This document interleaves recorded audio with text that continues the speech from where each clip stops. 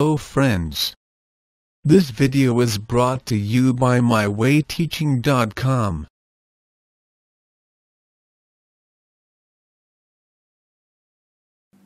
Let us read the question.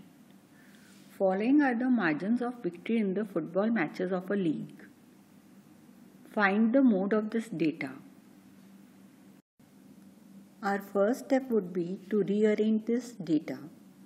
But since it is a huge data, so let us make a tally mark table. Our table will look something like this one of the columns will be margins of victory. We have 1, 2, 3, 4, 5 and 6 as the margins of victory. So the entries in this column will be 1, 2, 3, 4, 5 and 6. Now the first value is 1. So 1 bar in corresponding to margin of victory 1. Second value is 3. So a bar corresponding to column with margin of value 3. Next value is 2.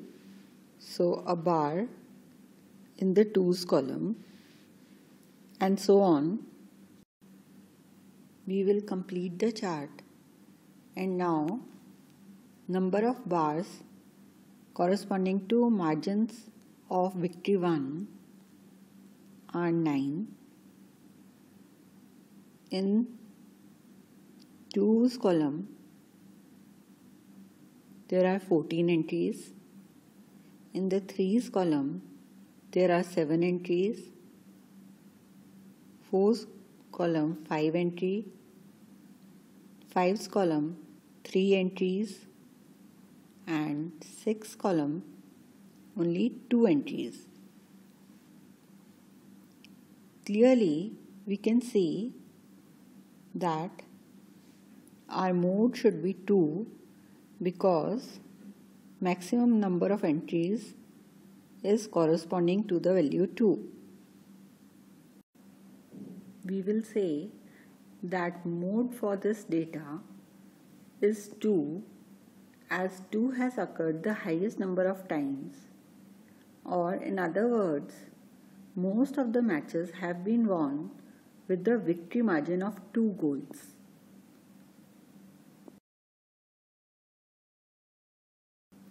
Let us read the question. Find the mode of the numbers.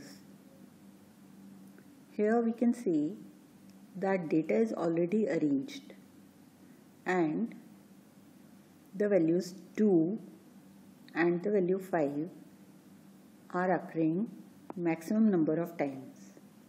That is, both the entries are occurring 3 times. So we can say here 2 and 5 both occur 3 times. Therefore, both are mode of this data.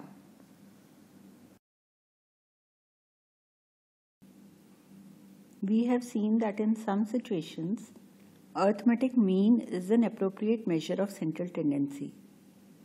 Whereas in some other situations, mode is the appropriate measure of central tendency.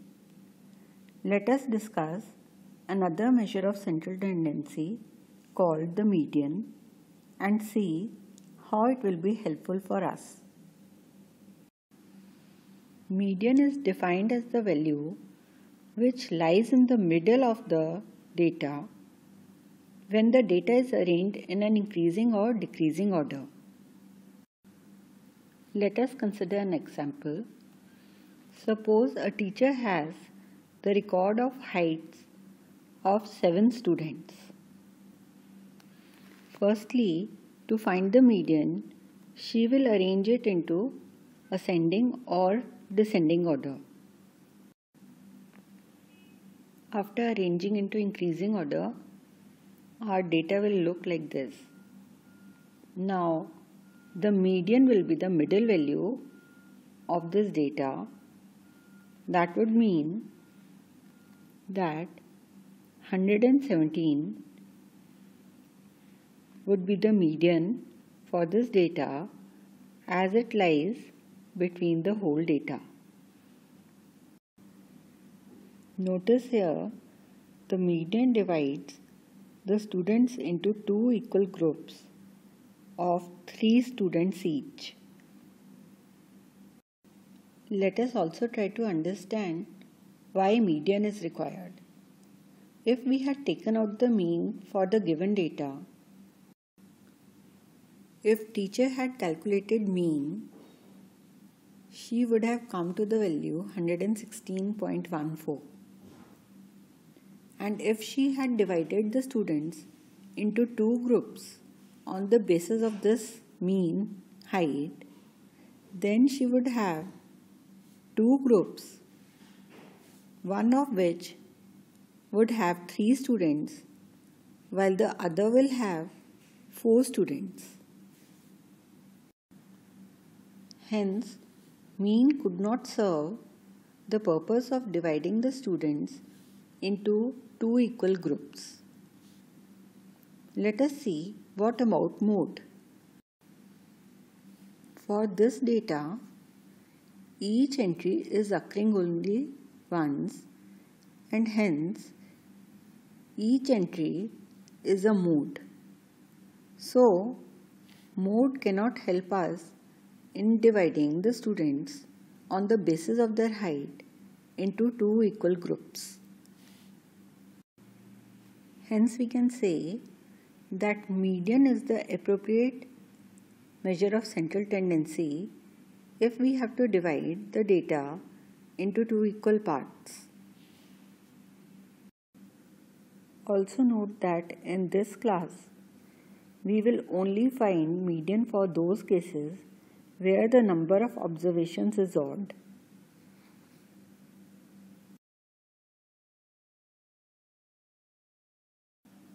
Let us read the question.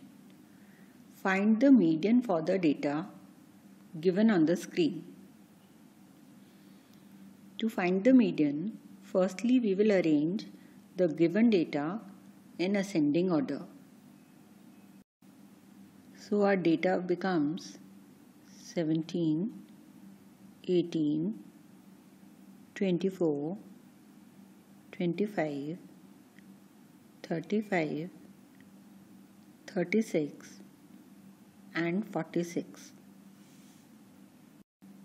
Let us count the number of observations 1, 2, 3, 4, 5, 6, 7. We have 7 observations and the median will be the middle value which will divide it into two equal parts. Clearly, middle value will be 25 as it will divide it into two equal parts.